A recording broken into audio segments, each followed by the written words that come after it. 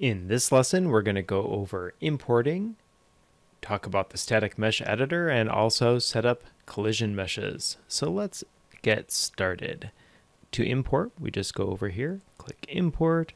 Now I put this right on the desktop for ease, but if you're doing a lot of meshes, I recommend creating a separate folder for that. So I'm just going to double click, import. Now let's just go through some of these options. Once you get them set, you probably won't have to tweak them very often. But for now, let's review some of the options. We'll go over more of the skeletal mesh options in a later chapter, but for now, the one we're going to focus on is auto-generate collisions. I usually leave this on. Unreal does a good job of generating collisions, but we're specifically going to have one of the meshes that it doesn't, and we'll show how to fix that in this video. All right, let's go through.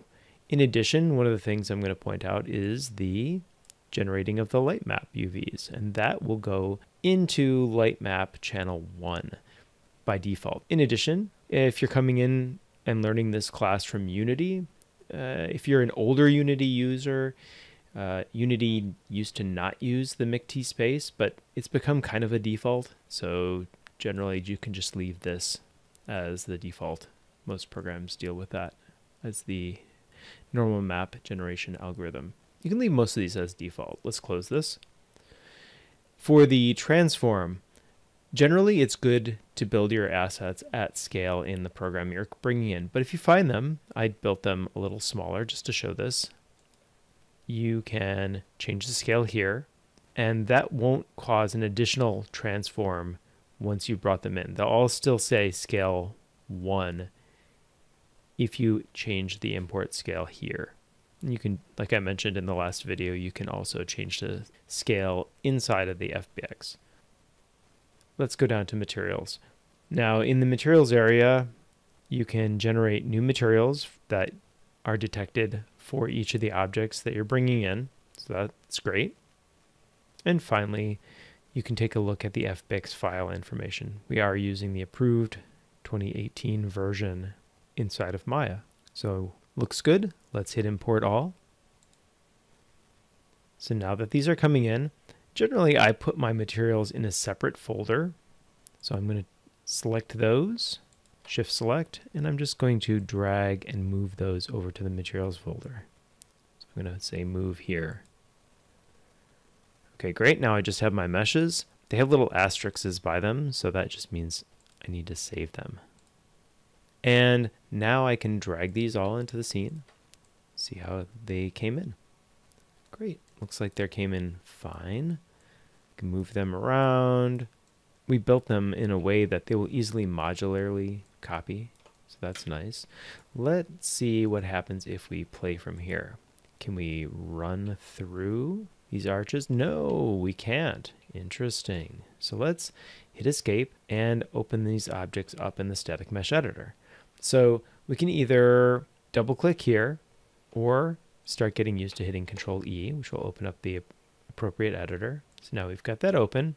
Let's take a look at the interface a little bit. Some of the core important things you can diagnose, you can take a look at the, the surface normals of the object. If parts of the geometry are see-through, you might have an issue with surface normals.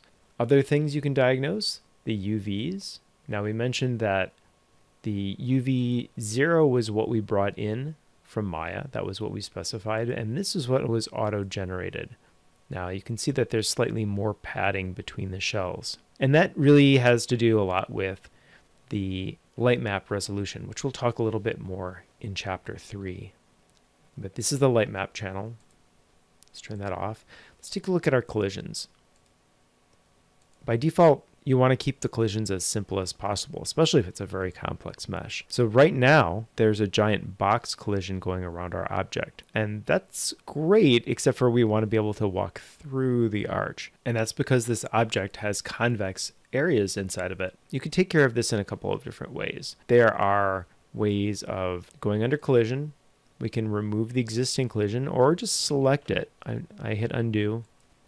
You can select these and hit delete. And then there's different options up here. There's spherical collision, capsule collision. Those are very efficient because they're just calculating collision based on the radius of the object. So you're going to see a lot of capsules and spheres inside of character meshes. Boxes are pretty simple as well. I mean, it's just calculating six collision faces based on the box.